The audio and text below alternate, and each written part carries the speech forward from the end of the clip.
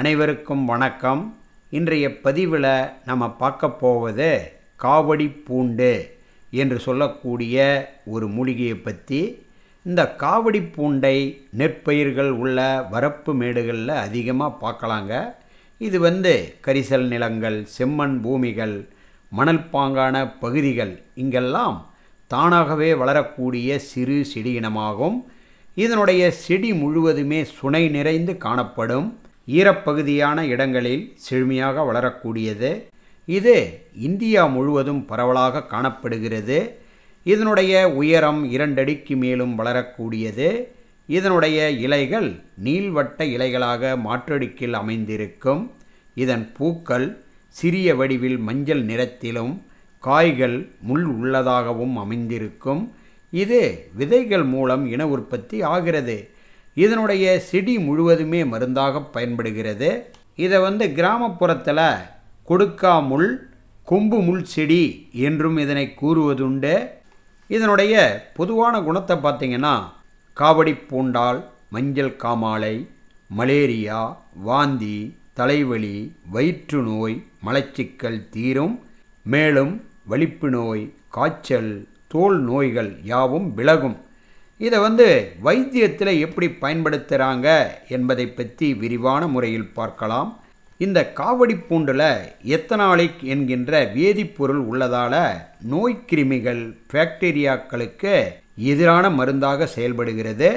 இதனுடைய இலை தண்டுகளையும் சேர்த்து பறித்து வந்து அதனுடன் சிறிது மிளகும் ஒரு துண்டு சுக்கும் சேர்த்து லேசாக இடித்து ஒரு பாத்திரத்தில் இட்டு நீர் சேர்த்து கொதிக்க வைத்து கஷாயமாக எடுத்து ஐம்பது மில்லி அளவிற்கு காலை மாலை இருவேளையாக சாப்பிட மலேரியா நிமோனியா போன்ற காய்ச்சல் குணமாகும்.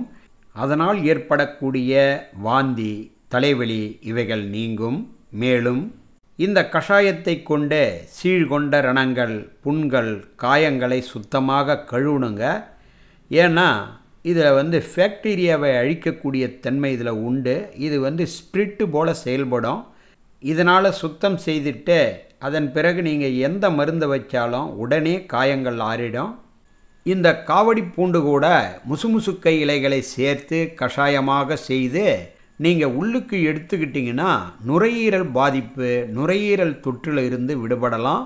இதனால் நாள்பட்ட சளி இருமல் கபக்கட்டு தொண்டை கம்மல் இவைகள் நீங்கும். இதனை தொடர்ந்து பயன்படுத்த ஆஸ்துமா காசநோய் விலகும். மஞ்சள் காமாலை உள்ளவர்கள் காவடி பூண்டு கீழாநெல்லி மஞ்சள் கரிசனாங்கண்ணி இவைகள் மூன்றையும் சமபாகம் எடுத்து இளநீரை விட்டு அரைத்து ஒரு நெல்லிக்காய் பிரமாணம் மோர் அல்லது பாலுடன் கலந்து காலை மாலை இருவேளையாக பருகி வர படிப்படியாக காமாலை நீங்கும். இந்த காவடி பூண்டானது தோல் நோய்களையும் குணப்படுத்தக்கூடியதுங்க. இதனுடைய இலைகளையும் சீமை அகத்தி இலைகளையும் சமபாகம் எடுத்து அரைத்து அந்த விழுதை தோல் நோய்களுக்கு தடவி வர விரைவில் ஆறும். இது போன்ற தருணத்தில் கருவாடு கத்திரிக்காய் எறா பாவக்காய் போன்ற உணவுகளை நீக்கணுங்க. காபடி பூண்டு இலைகளையும் துளசியையும் சமபாகம் எடுத்து அதனுடன் சிறிது உப்பு சேர்த்து கசக்கி பிழிந்து பத்து மில்லி அளவிற்கு சாறு எடுத்து ஒரு டம்ளர் நீருடன் விழாவி காலையில் மட்டும் தொடர்ந்து சாப்பிட வலிப்பு நோய் குணமாகும். இது போன்று ஒரு மாதத்திற்கு சாப்பிட்ணுங்க. இது போன்ற ஏராளமான நன்மைகள் இந்த காவடி பூண்டில் உண்டு. பயன்படுத்தி நலம்பெறுங்கள் இந்த வீடியோ உங்களுக்கு பயனுள்ளதாக இருந்தால் லைக் பண்ணுங்கள் கமெண்ட்ஸ் பண்ணுங்கள் ஷேர் பண்ணுங்கள் சப்ஸ்கிரைப் பண்ணுங்கள் நன்றி வணக்கம்.